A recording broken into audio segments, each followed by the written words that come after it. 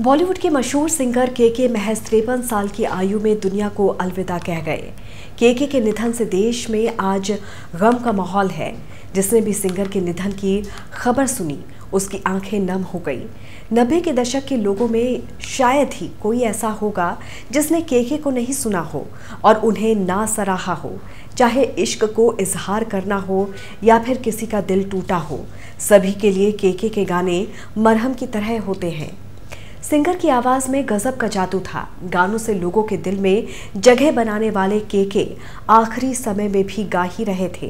अब उनका जाना लोगों के दिल को दुखा रहा है, आँखों को रुला रहा है।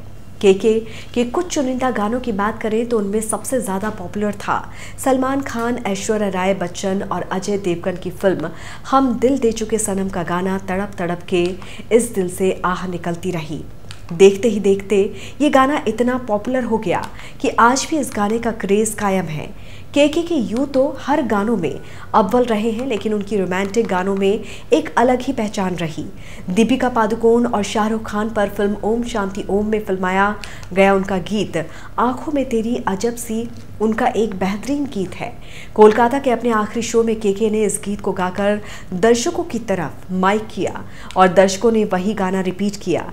तो के के के मुँह से निकला, मैं मर जाऊँ यहीं पर। और कुछ घंटों बाद ही वो दुनिया से रुखसत हो गए। ऋतिक रोशन की फ़िल्म काइट का गीत, ज़िंदगी दो पल की, हर कोई आज भी गुनगुनाता दिख जाता है। ये केके का ही गाया हुआ गाना है। जिसे सुनकर हर कोई प्रेम की भावनाओं को जानने, समझने की कोशिश करने लगता है। गाने को ऋतिक रोशन और बारबरा मोरी पर फिल्माया गया था।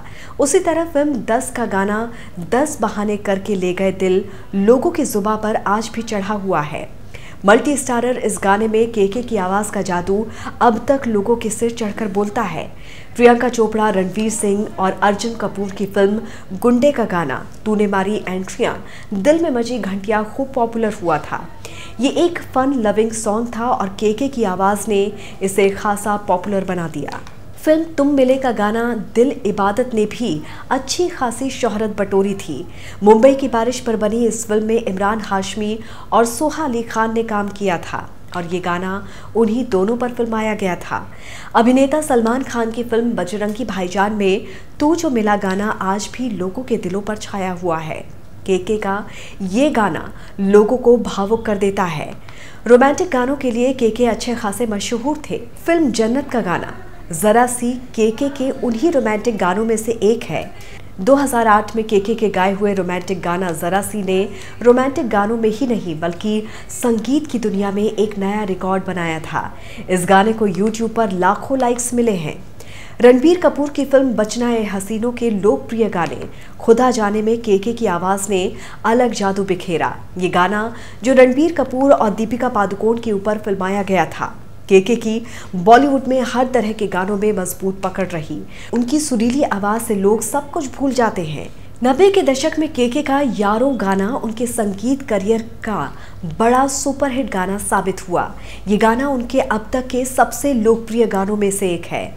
दोस्ती को समर्पित इस गाने ने यारों की यारी अधिक गहराई को छू लिया। ये गाना युवाओं के बीच जमकर पॉपुलर हुआ था।